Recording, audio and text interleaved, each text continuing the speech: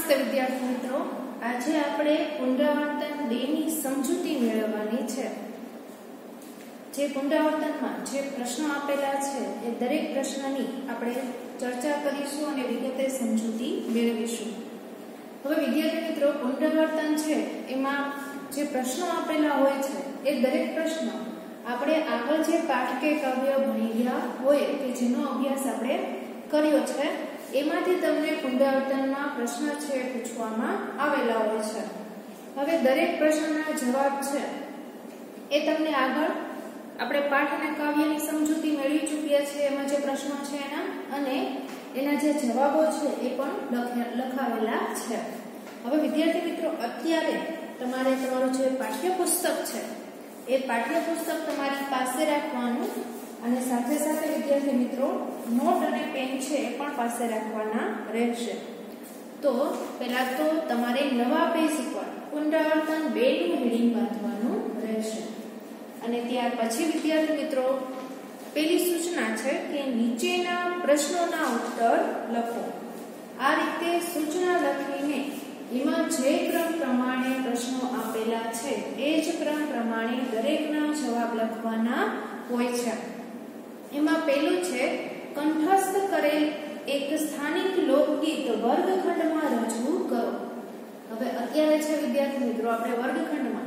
જે વિદ્યાર્થી મિત્રો ગયા વર્ષે આ શાળામાં હતા, એને ખ્યાલ જ હશે કે આપણે પાઠ કે કાવ્ય પૂરા કરીએ કે જેની સમજૂતી આપણે મેળવી લઈએ, પછી પ્રશ્નોની ચર્ચા કરીએ છીએ. અને પુનરાવર્તન છે, એ લખાવતા પહેલા પણ પુનરાવર્તનમાં આપેલા દરેક પ્રશ્નની ચર્ચા ચર્ચા છે કરવામાં આવે છે. અને પછી છે એના જવાબો લખવામાં આવે છે. તો હવે વિદ્યાર્થી મિત્રો, અહીંયા છે વર્ગખંડમાં રજૂ કરવાની વાત છે, પણ અત્યારે તમારે શું કરવાનું છે કે તમને જે લોકગીત ગમતું હોય, એ લોકગીત તમે તમારા ઘરના સભ્યો સમક્ષ રજૂ કરી શકો છો. અહીંયા તમારી સમજૂતી માટે મેં જે લોકગીત છે, એની બે પંક્તિ છે, લખીને રાખેલી છે. કે જેમાં આલા લીલા વાસળિયારે વઢાવો એની રે ઉતરાવો મારા પ્રભુજીની વાસળી રે ડોલ અહીંયા છે તમારી સમજૂતી, એટલે કે સમજૂતી માટે લખેલું છે, તમે એ લોકગીત પણ લખી શકો છો અને ગાઈ શકો છો અથવા એની સિવાય તમને જે ગમતું હોય, તમને જે આવડતું હોય એ પણ તમે એમાં લખી શકો છો. ત્યાર પછી બીજું છે, એકમમાં આવતા રૂઢિપ્રયોગો અને કહેવતોની યાદી તૈયાર કરો. હવે વિદ્યાર્થી મિત્રો, આ જે બીજો પ્રશ્ન છે, એમાં આપણે પાઠ્યપુસ્તકમાં રૂઢિપ્રયોગો તો આપેલા છે, પણ કહેવતો છે આપેલી નથી. હવે એમાંથી આપણને જે પાઠ કે કાવ્ય છે, એમાં રૂઢિપ્રયોગો આપેલા છે એમાંથી, તમને જે રૂઢિપ્રયોગ છે, એ રૂઢિપ્રયોગ છે એમાંથી કોઈ પણ રૂઢિપ્રયોગો છે એ લખવાના અને ત્રીજો પ્રશ્ન એની સાથે જોડાયેલો છે, વિદ્યાર્થી મિત્રો, કે કોઈ પણ બે કહેવત અને રૂઢિપ્રયોગના અર્થ આપી વાક્યમાં પ્રયોગ કરો. હવે રૂઢિપ્રયોગો છે, બીજા પ્રશ્નમાં એની યાદી છે તૈયાર કરવાની અને કહેવતોમાં કોઈ પણ કહેવત લખી શકો છો. ઉદાહરણ તરીકે, ઉતાવળે આંબા ન પાકે. ત્યાર પછી છે, પાકા ઘડે કાંઠા ન ચડે. ભેસ આગળ ભાગવા. એવી કોઈ પણ કહેવત છે એ તમે લખી શકો છો. ત્રીજામાં છે, કોઈ પણ બે કહેવત અને રૂઢિપ્રયોગના અર્થ આપી વાક્યમાં પ્રયોગ કરો. હવે કહેવત છે લખીને સામે એનો અર્થ લખવાનો અને રૂઢિપ્રયોગ છે એના અર્થ આપીને એનો વાક્યમાં પ્રયોગ કરવાનો રહેશે. ત્યાર પછી ચોથું છે લોક સાહિત્યની વાર્તાઓનો સંગ્રહ તૈયાર કરો. તમારી સમજૂતી માટે અહીંયા છે મેં લોક સાહિત્યની જે વાર્તાઓ છે એના નામ લખેલા છે. તમે આ પણ લખી શકો છો અને એની સિવાય અન્ય જે તમારી ગમતી હોય પસંદની હોય એ પણ લખી શકો છો. તો અહીંયા છે જેસલ તોરલદે અને જોગીદાસ ખુમા ત્યાર પછી વિદ્યાર્થી મિત્રો, પાંચમો છે સત્યના પ્રયોગો. જેવી અન્ય આત્મકથાઓ મેળવી તેની યાદી બનાવો અને તેમાંથી મન મનપસંદ આત્મકથા ટૂંકમાં લખો. તો હવે આપણે છે સત્યના પ્રયોગો જેવી આત્મકથાઓ તો અહીંયા આત્મકથા છે, એના નામ લખેલા છે, કે જેમાં પેલું છે ઘડતર અને ચણતર. ત્યાર પછી ધૂળમાની પગલીઓ. એના પછી જીવન પંથ અને સ્મરણ યાત્રા હવે એના અંશ લખવાનું પણ આપણને કહ્યું છે. તો આ પેલી જે આત્મકથા છે વળતર અને ચડતર એના અંશ મેં અહીંયા લખીને રાખ્યા છે. બાકુડો બજાર રોટલા ખાય હજાર પાણી પીએ ઘડો, પેટ થાય દડો. પેટ ગયો ફૂટી, બાપુડો ગયો મૂડી. ત્યાર પછી વિદ્યાર્થી મિત્રો છઠ્ઠું છે કે જેમાં કહ્યું છે કે કાવ્યમાં આવતા પ્રાસવાળા શબ્દો સાથે એવા જ બીજા શબ્દોની યાદી તૈયાર કરો. તો એ પણ તમારા સમજૂતી માટે અહીંયા લખેલું છે. નોટ, ચોટ. કીધું, લીધું. સાત હાથ રાખડી, આકડી, ચીર હીર ત્યાર પછી, વિદ્યાર્થી મિત્રો, સાતમો પ્રશ્ન છે કે અઘરા લાગતા કોઈ પણ પાંચ શબ્દો શોધી. શબ્દકોશનો ઉપયોગ કરી તેના અર્થો શોધો. એનું પણ તમને સમજૂતી માટે એવો બે શબ્દો છે લખેલા છે, કે છયું એટલે છોકરો અને સોદાગર એટલે મોટો વેપારી. જે મોટા વેપારી હોય છે, એનું માટે હવે આ સાતે સાત પ્રશ્ન છે એના જવાબ ફરીવાર વાંચી જાઉં છું. ધ્યાન આપજો કે જેમાં પહેલું છે લોકગીત છે એમાં આલા લીલા વાસળિયા વઢાવો. એની રે ઉતરાવો મારા પ્રભુજીની વાસળી રે લોટ. ત્યાર પછી રૂઢિપ્રયોગો અને કહેવતોની યાદી તૈયાર કરવાની છે. તો રૂઢિપ્રયોગો છે એ આપણા પાઠ્યપુસ્તકમાંથી તમે કોઈ પણ રૂઢિપ્રયોગો છે એ લઈને એની યાદી તૈયાર કરી શકો છો. અને કહેવતો છે એ તમારા ઉદાહરણ સમજૂતી માટે હમણાં બે ઉદાહરણ આપેલા અને એની સિવાય અન્ય જે કહેવત તમને આવડતી હોય એ પણ તમે લખી શકો છો. પછી રૂઢિપ્રયોગના અર્થ આપી વાક્યમાં પ્રયોગ કરવાનો છે અને કહેવત અને રૂઢિપ્રયોગ બંનેના. તો એ કહેવત અને રૂઢિપ્રયોગ છે. એનો આપણે ત્રીજાના જવાબમાં એનો અર્થ આપી રૂઢિપ્રયોગમાં અને વાક્યમાં પ્રયોગ કરવાનો રહેશે. ત્યાર પછી ચોથું છે લોક સાહિત્યની વાર્તાઓનો સંગ્રહ. તો એમાં જેસલ તોરલ દે અને જોગીદાસ કુમાર એની સિવાયની અન્ય વાર્તાઓ પણ તમે લખી શકો છો. અને પાંચમું સત્યના પ્રયોગો જેવી અન્ય આત્મકથાઓ મેળવી, તેની યાદી બનાવો અને તેમાંથી મનપસંદ આત્મકથાંશ ટૂંકમાં લખો. તો અહીંયા છે, વિદ્યાર્થી મિત્રો આત્મકથાના નામ લખેલા છે. ઘડતર અને ચણતર ધૂળમાની પગલીઓ, જીવન પણ, સ્મરણ યાત્રા અહીંયા અંશ લખેલા છે કે જેમાં બાપુડો બજાર, રોટલા ખાય હજાર પાણી પીએ ઘડો, પેટ થાય દડો. પેટ ગયું ફૂટી, બાપુડો ગયો ગુડી. ત્યાર પછી, વિદ્યાર્થી મિત્રો, કે કાવ્યમાં આવતા પ્રાસવાળા શબ્દો સાથે એવા જ બીજા શબ્દોની યાદી તૈયાર કરો. તો એમાં આપણે અહીંયા લખેલું છે, નોટ અને ચોટ, કીધું ને લીધું. સાત હાથ. રાખડી, આકડી, ચીર હીર ત્યાર પછી સાધુ છે. અઘરા લાગતા કોઈ પણ પાંચ શબ્દો શોધી, શબ્દકોશનો ઉપયોગ કરી તેના અર્થો શોધો, પછી જૂથમાં ચર્ચા કરો. તો એમાં આપણે સાતમામાં લખેલું છે, છૈયું, છોકરું. સોદાગર એટલે મોટો વેપારી. એમ છે. તમારી સમજૂતી માટે અહીંયા બે શબ્દો છે લખેલા છે. પછી આવે છે વિદ્યાર્થી મિત્રો પ્રશ્ન બે. કે નીચેના પ્રશ્નોના ઉત્તર લખો. એમાં પહેલો પ્રશ્ન છે, રાજાએ જગૃષાને શા માટે તેડાવ્યા? તો આપણે આ છે પ્રશ્નનો જવાબ. એમાં પાઠની સમજૂતી સમયે જોયું હતું કે જે દુકાળ, દુષ્કાળ છે, એના કારણે રાજા છે એકદમ હેરાન પરેશાન હોય છે. પોતાની જે પ્રજા છે એના માટે ચિંતિત હોય છે. એટલે કે જગૃષાને બોલાવે છે. વર્ષા આવી રહી છે, તે શાના આધારે કહી શકાય. એ પણ આપણે સમજૂતી મેળવી ચૂક્યા છીએ. મહેમાનને રમવાના આગ્રહનું પરિણામ શું પરિણામ આવ્યું.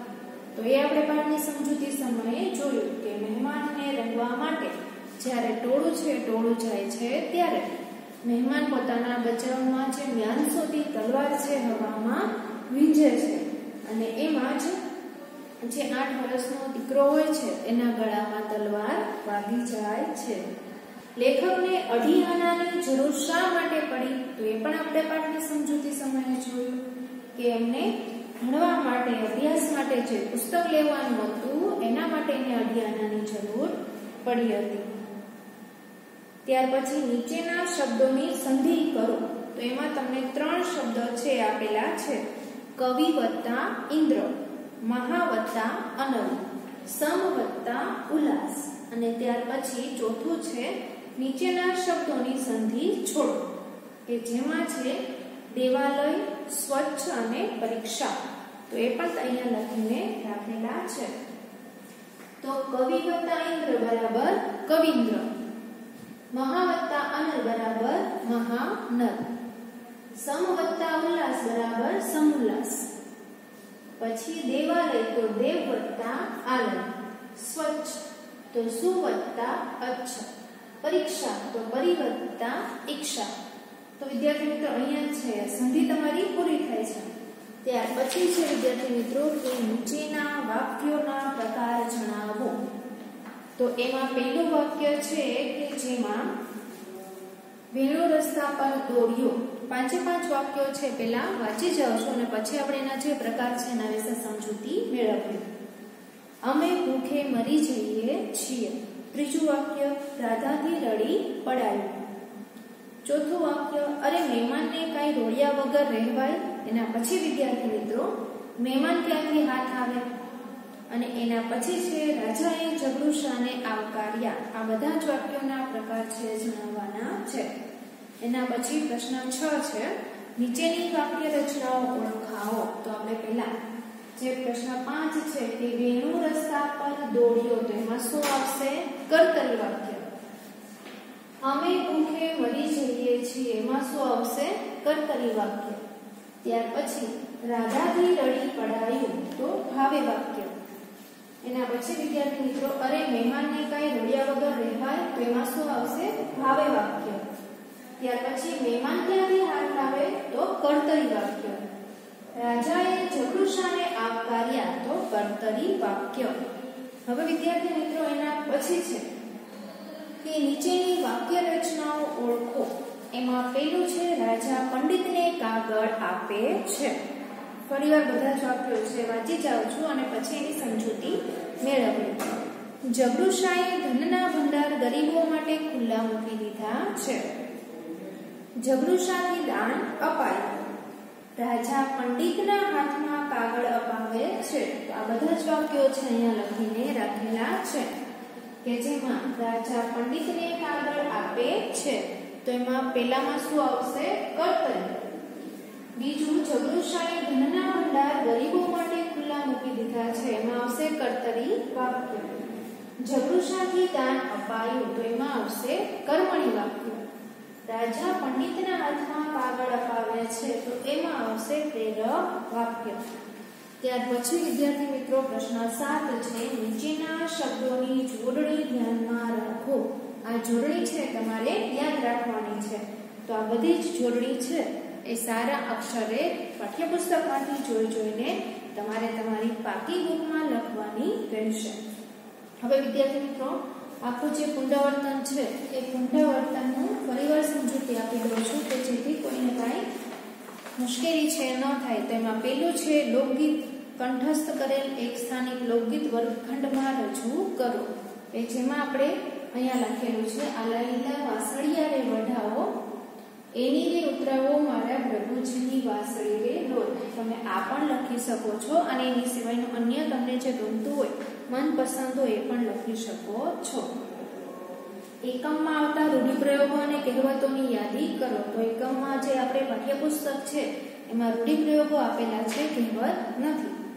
ત્યાર પછી ત્રીજું છે કોઈ પણ બે કહેવત અને રૂઢિપ્રયોગના અર્થ આપી વાક્યમાં પ્રયોગ કરો. તો બીજામાં તમારે યાદી તૈયાર કરવાની રહેશે અને ત્રીજાના જવાબમાં એનો અર્થ આપી વાક્યમાં પ્રયોગ કરવાનો રહેશે.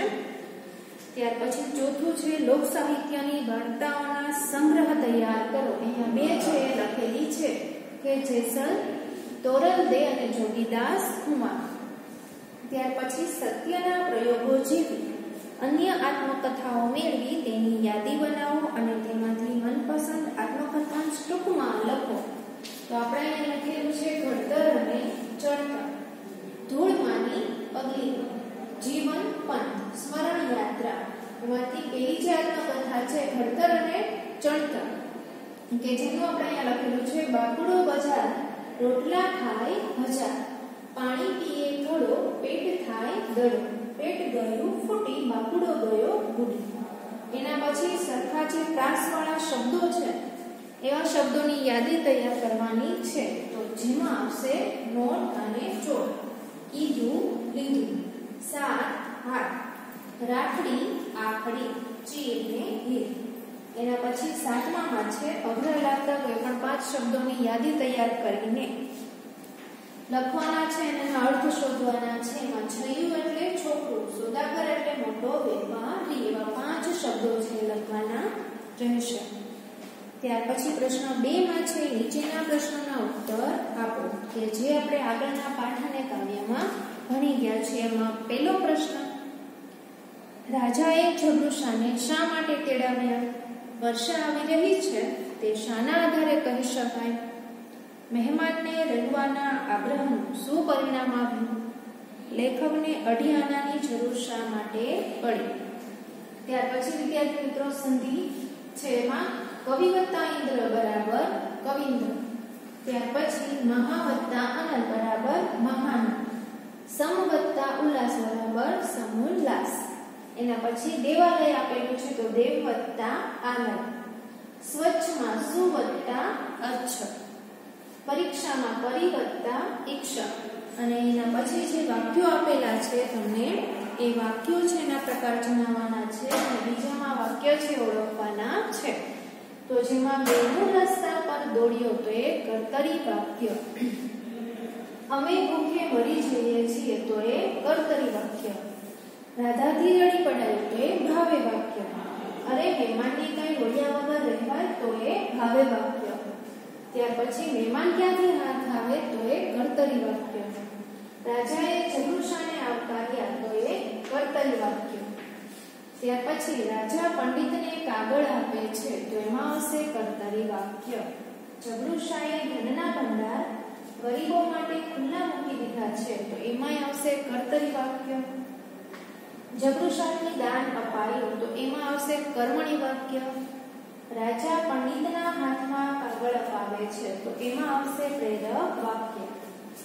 હવે વિદ્યાર્થી મિત્રો, અહીંયા છે કે પુનરાવર્તનની સમજૂતી પૂરી થઈ છે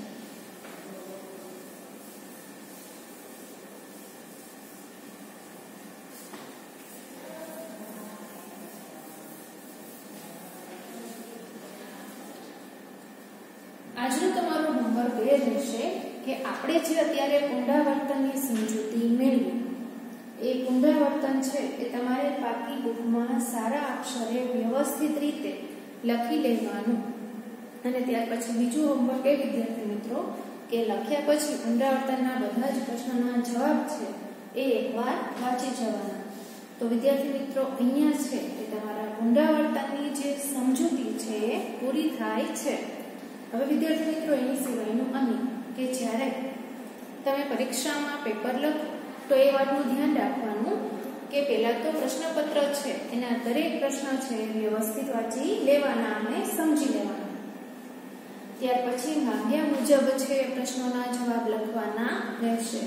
બને ત્યાં સુધી ચેકચાક છે એ ઓછી કરવાની અને ક્રમમાં જ પ્રશ્નના જવાબ લખવાના. દરેક પ્રશ્ન છે, એનો જવાબ છે તમારે પૂરા વાક્યમાં લખવાનો રહેશે નવો પ્રશ્ન છે એ નવા પેજ ઉપર જ ચાલુ કરવાનો. હવે વિદ્યાર્થી મિત્રો, આ બધી જ બાબતો છે, એનું ધ્યાન રાખીને સૂચના પ્રમાણે જે રીતે કહેવામાં આવે છે, એ જ રીતે પેપર લખવાના રહેશે. તો વિદ્યાર્થી મિત્રો, અહીંયા છે એ તમારા પુનરાવર્તન બેની સમજૂતી પૂરી થાય છે. આજનો લેક્ચર છે એ આપણે અહીંયા પૂરો કરીએ છીએ. આભાર